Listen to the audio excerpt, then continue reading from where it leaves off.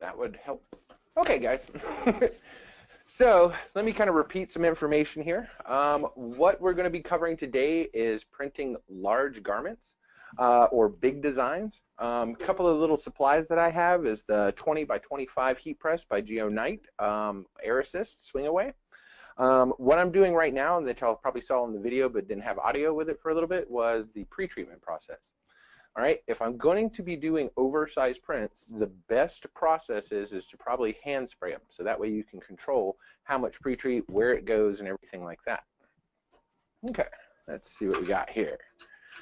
So what I'm doing right now is I'm letting the heat press hover so I can let a lot of this moisture, and let me bring this over, it's got a lot of moisture on the pre-treat here, to let it diffuse into the actual shirt, all right? Because right now it looks nice, wet, and shiny. Let me bring this back over and we're going to hover this without any paper on it and just let it sit here and hover for a little while. Now I have turned off my air by pushing this little button right here and I can use it as a timer.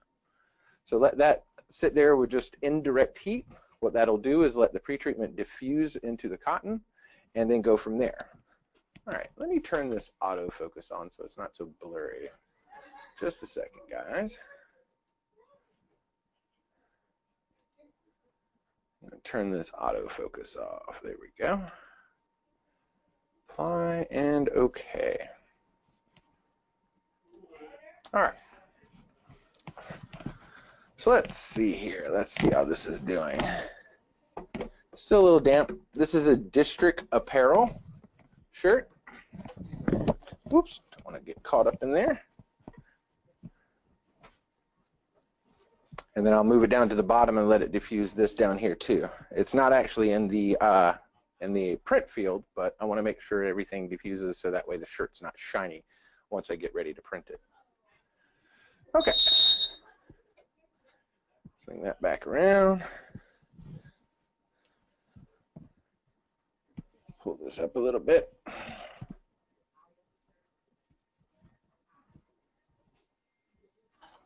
We'll let that diffuse a little bit. Okay.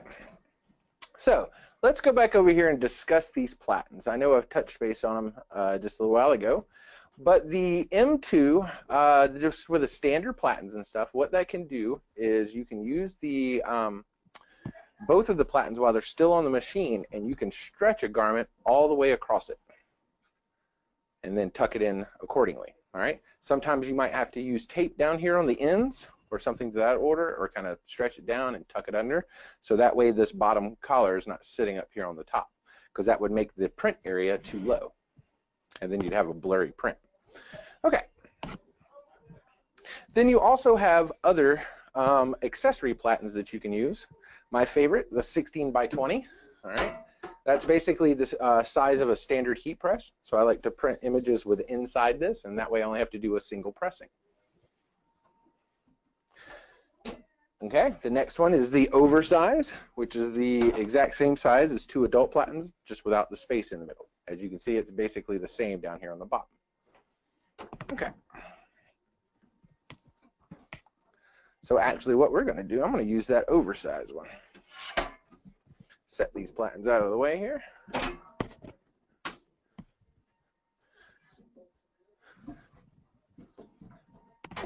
This is a great platen for doing like beach towels, anything that's going to be really oversized prints. Okay. Let's see how she's doing over here. Sure I don't have any of the fuzz sticking up or anything like that. Still got a little bit pre-treat. I might have went a little bit too heavy on this. Let me see which pre-treat I might. Okay.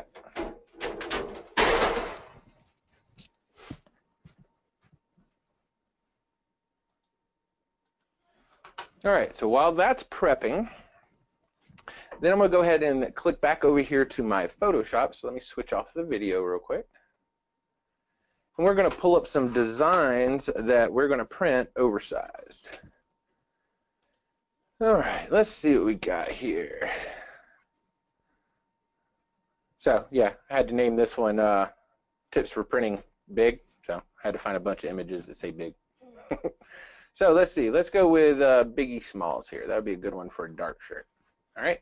So right now, a lot of images that you can get are pretty small. Like this one itself is like three and a half inches. So I'm going to show you kind of how to, uh, some little tips and tricks of how to maximize the size of things without compromising the design.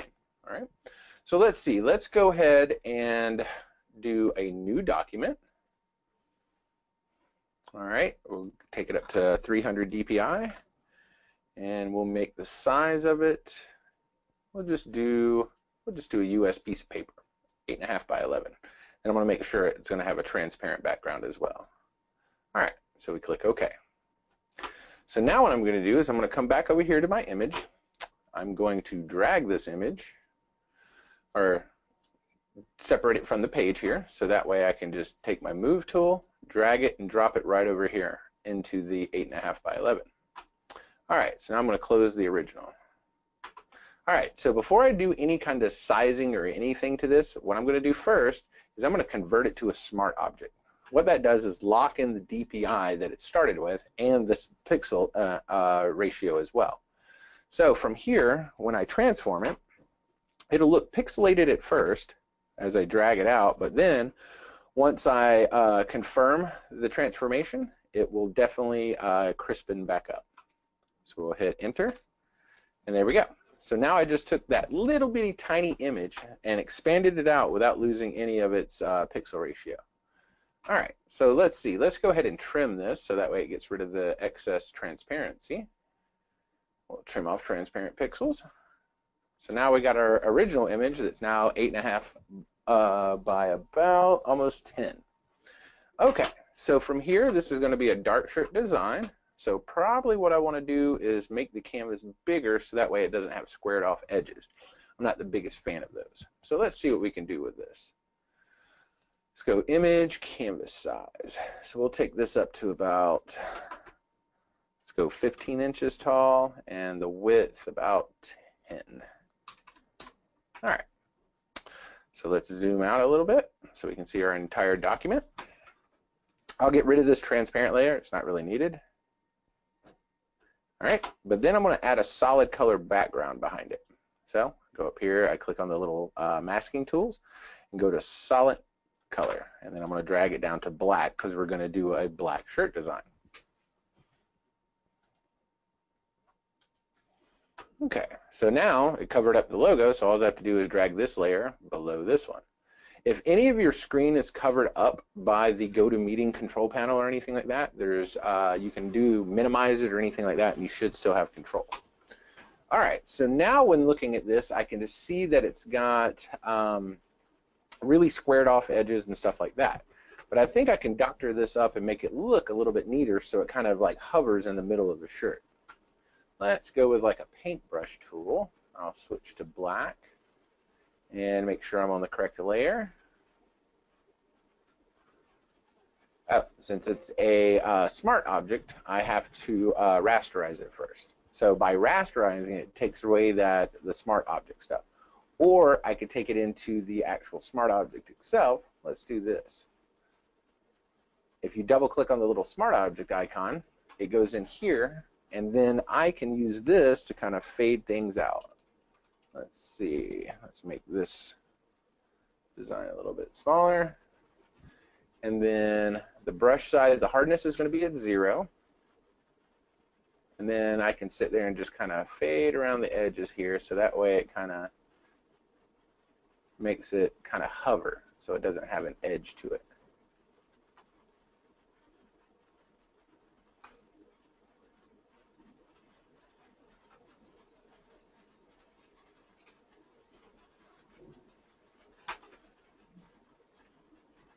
This should look pretty neat when it's done.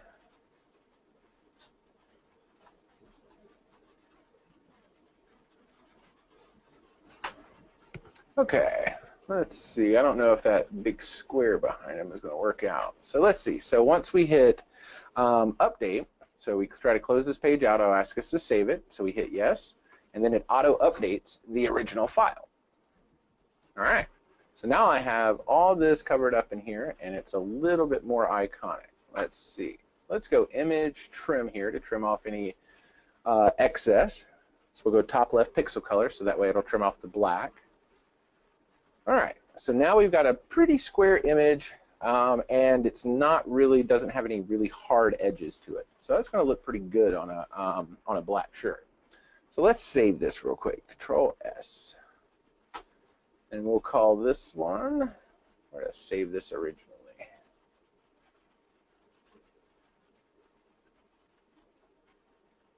Let's go, oops.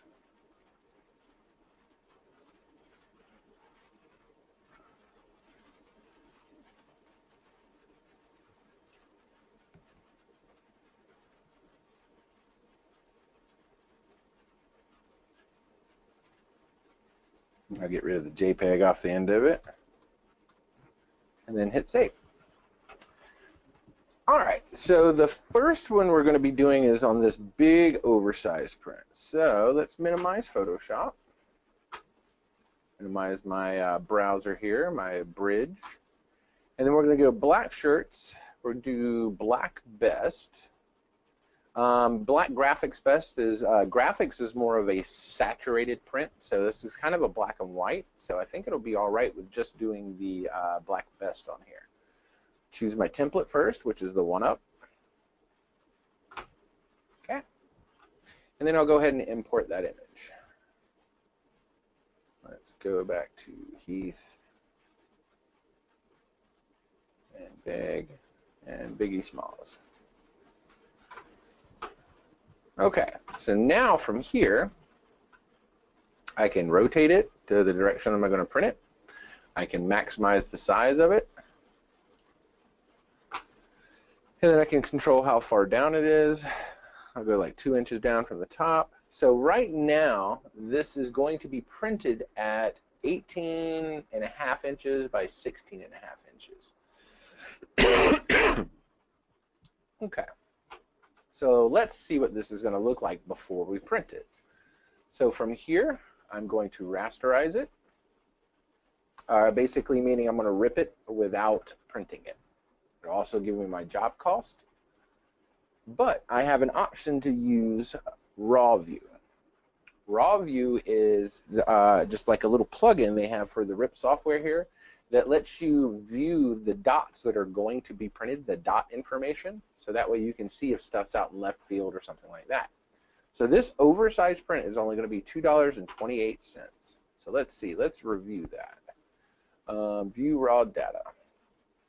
And it is just a representation. It does not represent color, okay? It just represents uh, pixel for pixel ratio.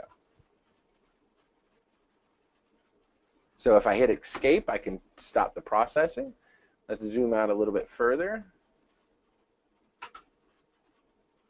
And then I'm going to stop it again by holding escape so that way I can change the background color because I want to see what it's going to look like, uh, see what the white layer looks like and things like that. So I like switching it to this dark gray. And then when I hit OK, now I can see what actual ink is going to be printed and seeing if I need to do any kind of more edits to it or anything like that. Which it looks like I might have to.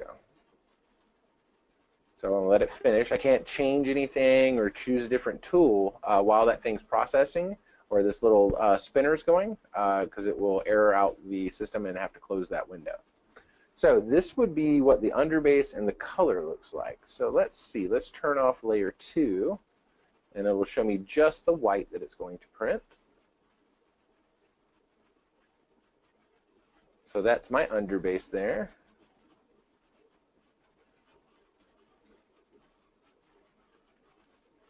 Eh, it doesn't look that bad. The black printing over the edges kind of helps it fade into the uh, into the black of the shirt.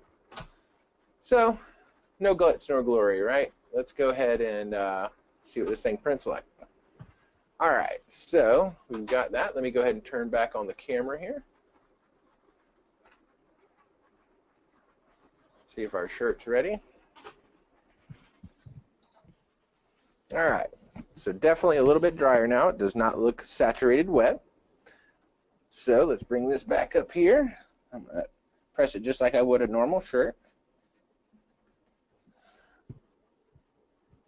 All right, make sure there's no wrinkles up underneath there that's going to get smashed into it, causing a hump. Oh, you probably would like to see that. Put my protective paper up here.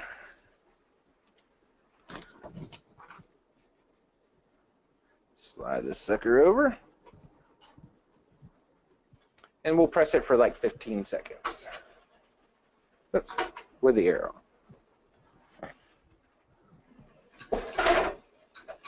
There it goes. Okay.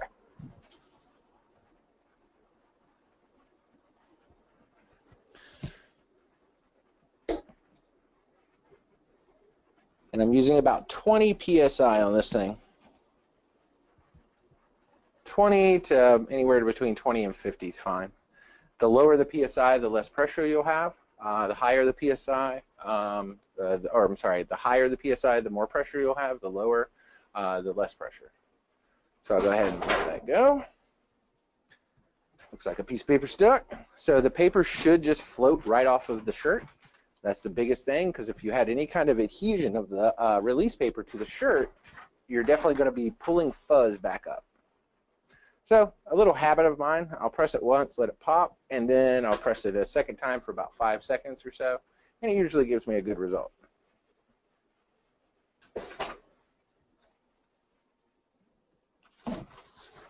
Set these to the side here.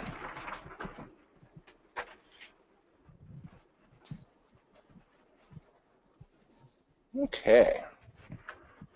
So now with that all pressed, we'll come back over here to the machine.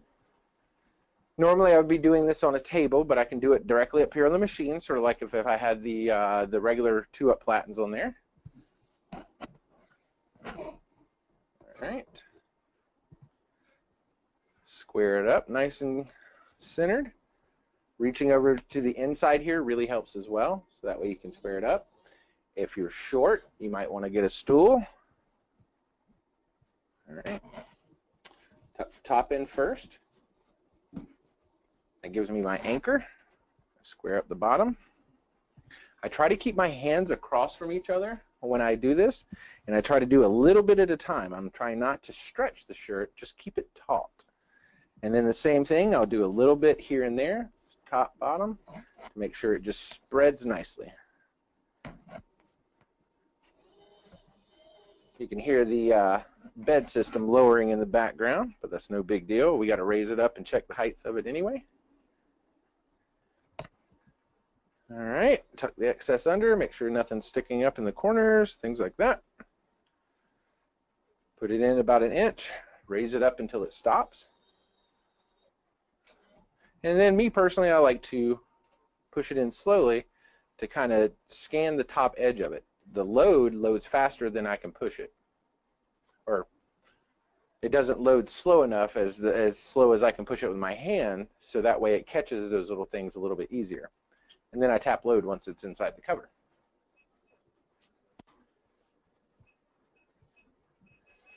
Okay, so now I'm just going to quickly switch back over to my uh, RIP software so I can make sure I have my port configuration. I haven't used this computer in here all day, so I just want to make sure. Manage queues. I'm in the Black Best queue. I can always stretch this out to see what USB number it's on. And it's going to be on USB 2. So I hit yes, and then close. All right, so now I can hit print. And we're going to see what this looks like.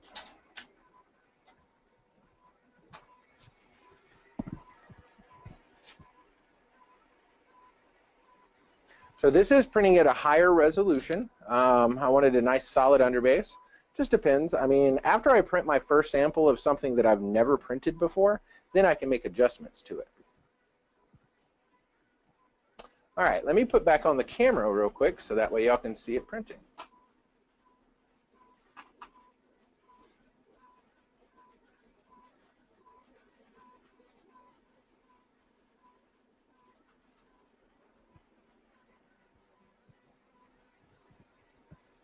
So definitely with these oversized prints and stuff, you'll definitely want to um, uh, charge more for them because they do take longer to print. You're printing them one at a time.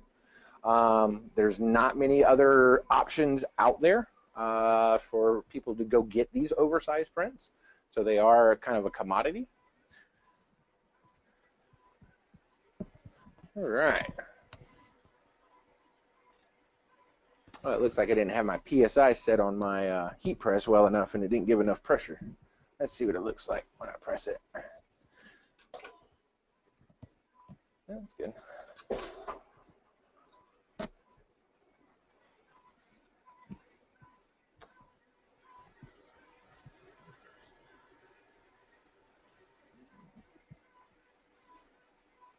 I'm going to show y'all an actual trick that you can use if a mistake happens.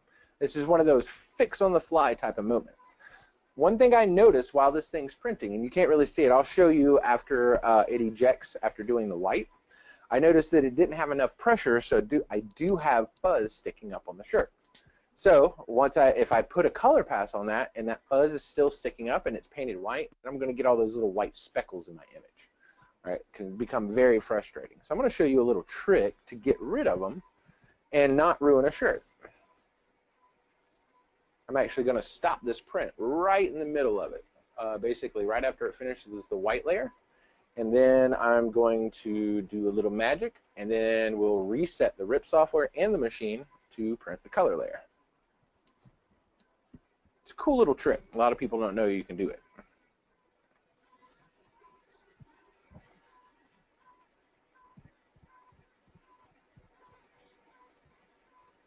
Some of this looks pretty cool just in black and white. A lot of images do.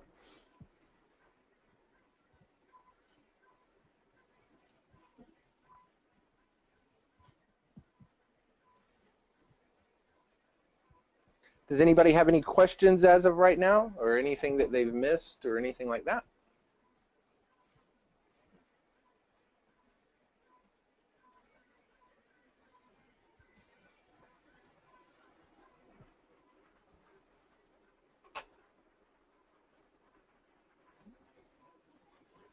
There is some new stuff coming out on the horizon. Uh, that's some good news. Um, we're in the middle of doing some testing on a new kind of all-in-one ultra pre-treatment for the M2. Uh, so that way there's going to be one pre-treatment for both light and dark garments, and it'll have a better hand, and you won't get as much of a stiff, shiny feeling on the uh, shirts when you print them. So definitely keep in touch with that. We'll we'll be uh, advertising it on our um, website as soon as we have everything locked into place, and I will be doing instructional videos and stuff like that to show the new pre-treatment processes. So stay tuned. So just looking at this, if I was probably going to print this again, I might lighten up that background or darken up the background behind him so that way it's not as much like white in these areas over around the crown and stuff.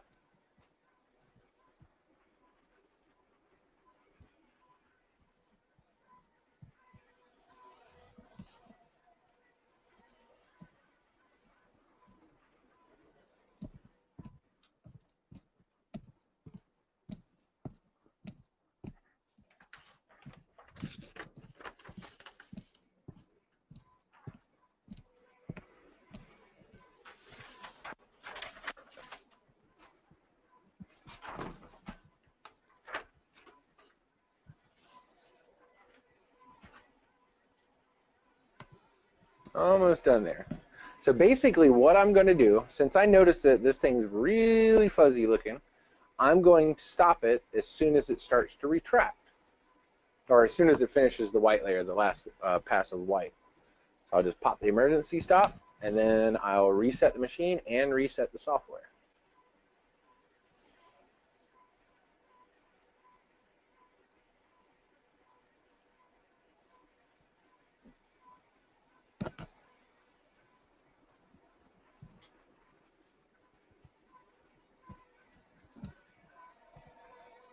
Shoot, I might even add something to this.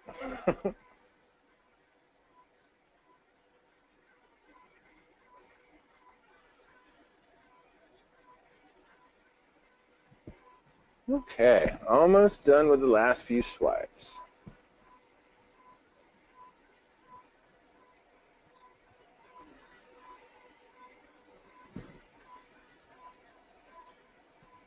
But you know what they say, I love it when they call me Big Papa.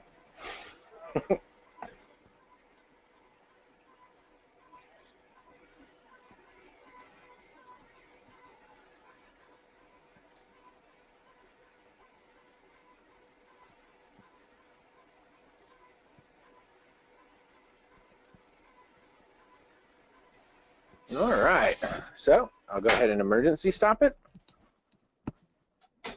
Lock that back into place. And what I'll do is without moving the platen whatsoever, I can pull the bed out. So I'll just grab it from the bottom and just pull it out gently. So that way I can see the whole shirt.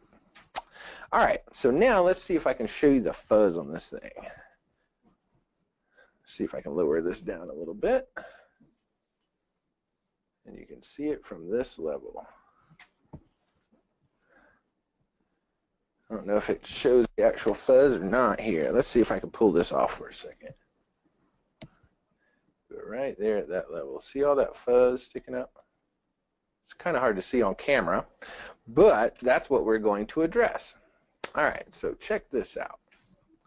So what I'm going to do is take a fresh piece of release paper, and I'm going to place it right up here on the shirt. Once it's uh, laid down, I do not kind of scrub it or anything, but I'll anchor it with a finger, and then I'll smooth my hand across it, basically pushing that fuzz right back down onto itself.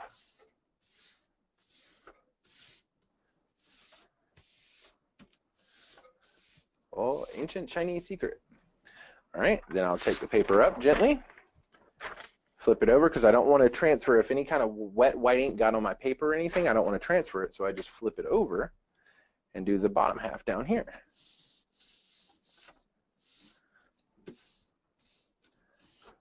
Because if you've got it pre-treated correctly it should not um, the white ink should be kind of congealed into the shirt itself. So now I'm going to look at the shirt again and I don't really see any fuzz sticking up. All right so let's reset the machine now.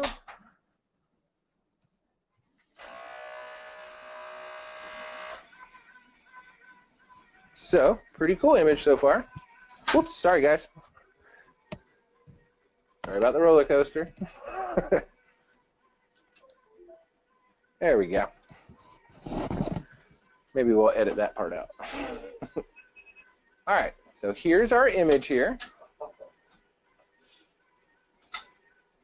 Yep, Mr. Mark Stevenson, our marketing director, just walked in, and he's just giggly. I am I am excited about this uh, because actually I, I want a Biggie T-shirt. So All right.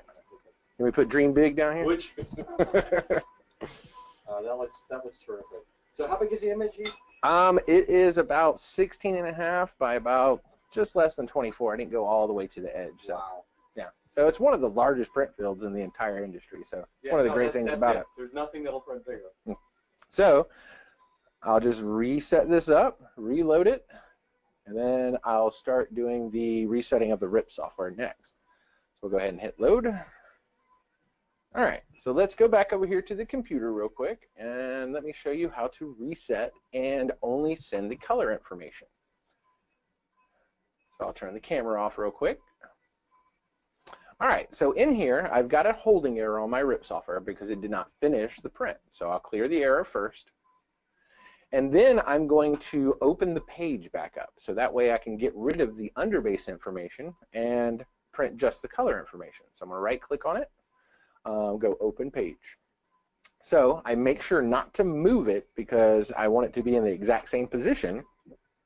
So then instead of changing my queue properties, I'm going to change the job properties by double clicking the job name. It'll bring up the job ticket properties. So then I can go to that same print mode overrides and layer profiles. And then you'll notice you have your underbase layer and your color layer. So look what we have up here, remove. So now it's only the color information. That's interesting. Mm-hmm. The reason we did that is um, the heat press. The this first time I've used the uh, 20 by 25. Yeah. The pressure on it was a little bit low, so it didn't press the fibers down really well. Okay. So I had little fuzzies sticking up. So. I used that as a teaching lesson to sit here and say, hey, this is what you can do if you make a mistake. Okay. So I just stopped it right after the white layer, and then put a piece of the release paper on it, smooth the, the fuzz in it, the color, and then print the color That's after. That's a great save. Mm-hmm. So we'll hit OK here and then we'll hit print.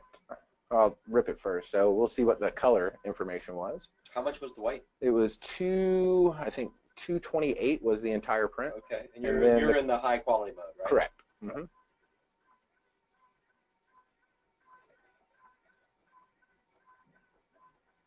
All right, 16 cents of color. Okay. It's mainly black, so.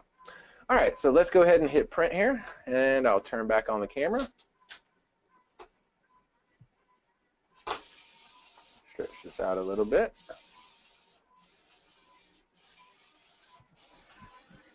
Let's bring this back over so we can see it.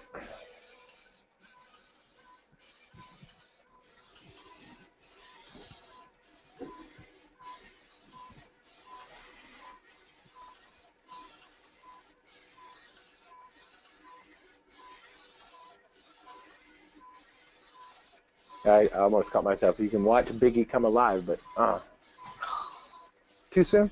You're, see, you're you're assuming that Biggie's dead. Yeah. Uh, No, they're on a tropical island, him, Tupac, sipping margaritas. and JFK. Yeah. Bruce Lee and Elvis. Yeah.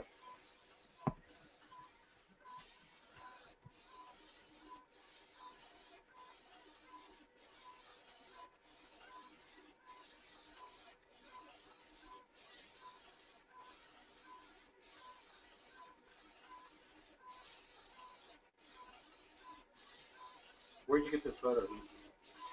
Um, Google. Okay. I typed in the word big, Okay. and of course, Biggie comes up. What kind of a file was it? Just a JPEG. JPEG. So the first part of this video, I went through and kind of showed um, how to change a low-res image to a high-res, bigger Right. image without messing with the image integrity. Right. I mean, still, you know, it's not going to be like you took a photo from a raw file into a PSD. Well, it's basically I'm creating a PSD from a very tiny image. It Right. started at three inches wide Oh, by by man. four, Okay. and now I'm blowing it up to almost 20 something inches tall. Yeah. So there is the capability of doing that stuff, and learning your Photoshop and the tools and how to use them really makes a difference.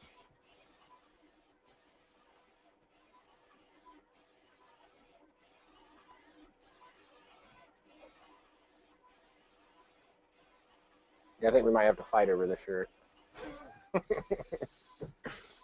It'll be a night shirt for either one of us. It's a 2X. Exactly. You have to do the big shirt of Biggie. So. Well, yeah, of course.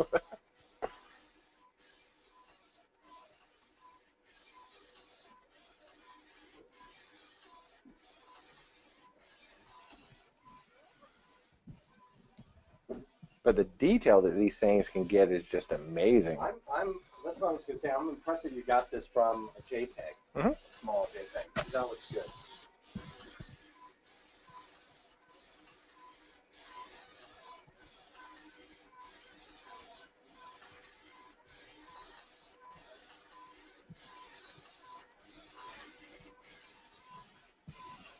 But doing these oversized prints, having that extra large heat press really is essential. Because if you try to do something this large on, say, just a standard heat press, you'll have a press line uh, inside it because of the two separate Yeah. pressings that you have You're to going do. to have to work harder. Yes, You're going to have to work a lot harder. it still looks good, Right.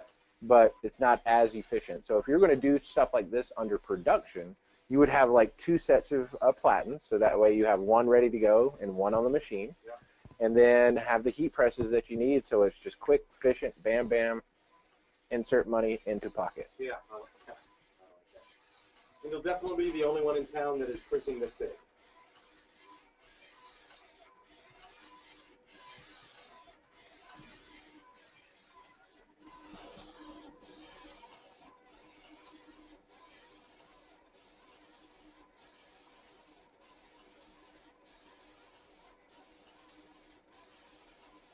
Of course, the other thing is this is not a fast process. No, this is big shirt. Mhm. I mean, it'd be twice as fast, literally, if this was on a white shirt. correct. Correct. But this is a big shirt and a big print. You're not you're not going to be doing 20 of these an hour. No. You're going to be Hmm. doing four, or five. Yes, so you definitely have to charge accordingly, uh, anywhere from thirty to forty dollars a shirt. Yep. So you just have to get the proper artwork on there.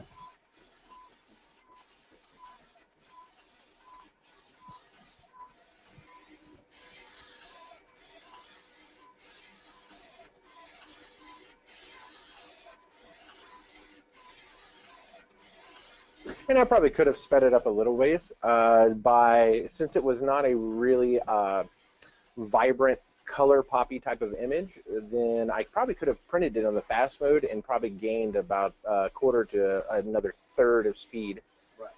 and still had that because certain images they look better subdued into the shirt a little bit to make, give it that little bit of an aged look.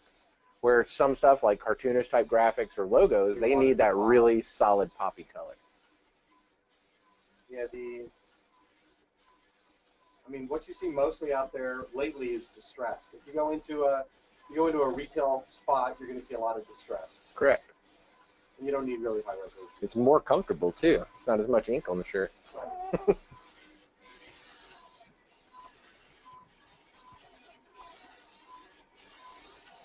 All right. So definitely once this comes off, we treat it like our normal dart shirts and we will heat press it and be done with it. Let me go ahead and get my heat press timer set up for the two minutes.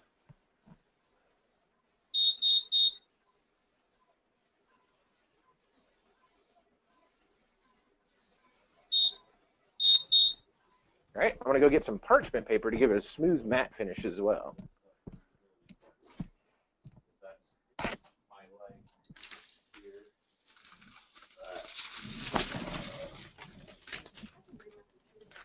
Do whatever you want. You go in there, do it out here. We can get Greg to move and you can do it on his desk.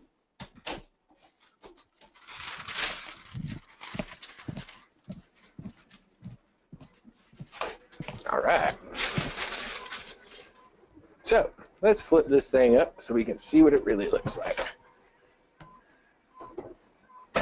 All right. Bring this camera in a little bit closer here that looks good. That looks so good. for a low res image that I got off of Google. Yeah, that looks great. Mm-hmm. So certain images aren't copyrighted and stuff. It's not like I'm going to go out and sell this without talking to a copyright attorney or a small business attorney to find out if I have the rights to do that or what I need to do to create it. All right. So then from here, Definitely going to let this hover because I definitely see a little bit of fuzz still on there. But I'm going to let it hover for probably about a minute kind of dries the outside of the ink a little bit more. So what I do is just turn the air off, start my timer. And Geo Knight did this just for us. Correct. Yeah, they have a, a very unique hover feature where it hovers about a half inch above the shirt. None of the other heat presses on the market right now actually do that. Right. And then you can control that height by your knob back here. Yep. So again, if you're going to do um, all over prints, if you're going to do big prints, if you're going to do blankets or towels or Oh yeah, very essential. standard- I mean, Very you essential. gotta have something like that. Plus it's cool. It's got air. Yeah, yeah, you definitely, definitely going to want that. All right, so let's go ahead and press it now. I think that'll be enough time for the hover. Turn the air back on.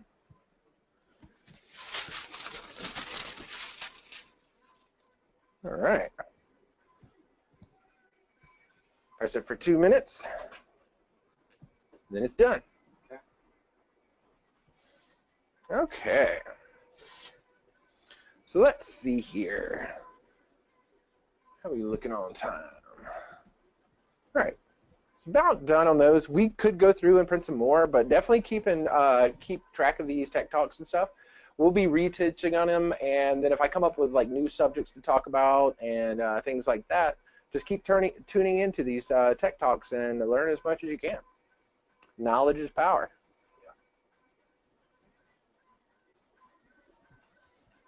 All right. All right, so what did we use today? We used the M2 with the XL platen. Correct. We used the Spider Mini for pre-treat, Correct. and we're using the um, DK25 SP. Mm-hmm.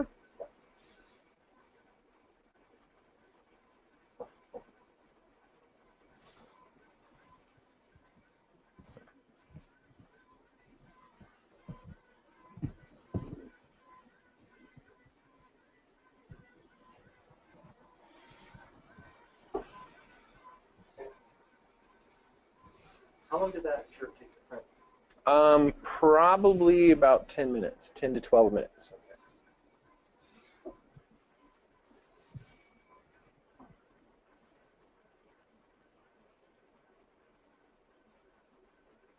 And is this the 2XL shirt?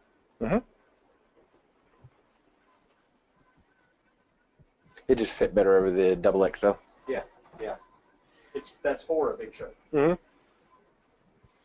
So if you own a big and tall shop, definitely get two of these. Yeah.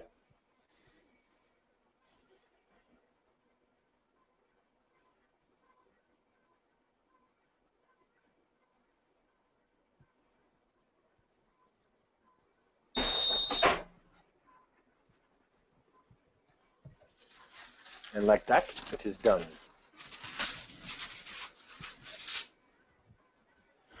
So let's see how big this thing is comparison to my body. A lot of we got a lot of uh, a lot of pictures and video of you standing in front of a Sure. standing in front of a big shirt. Yep. Okay, hold still. Let me take a picture of that because that's a pretty good one.